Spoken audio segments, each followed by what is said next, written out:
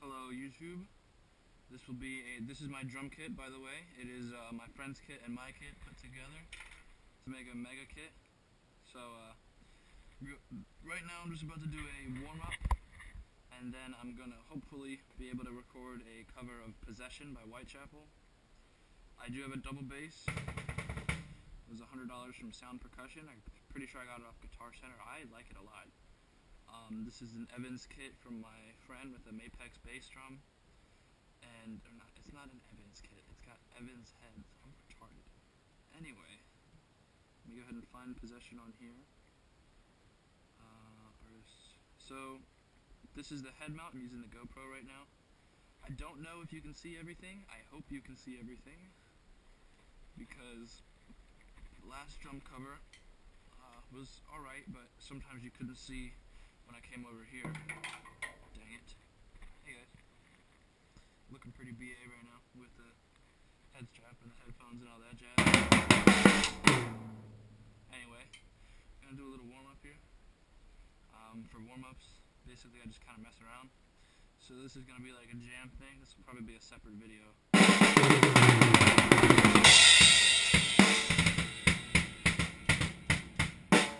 I, I really hope you can hear the bass pedal. You couldn't hear the bass pedal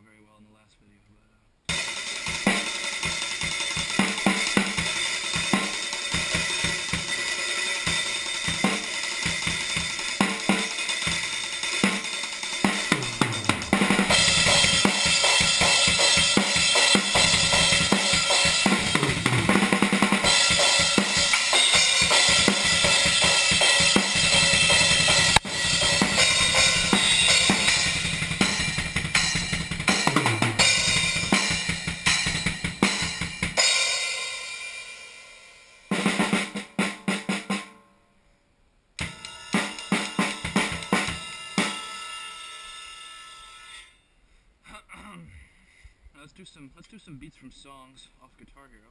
See if you guys can recognize them. Some of them are gonna be DLC, some of them might not. I don't even know how many I'm gonna do, but uh, this one's gonna be easy.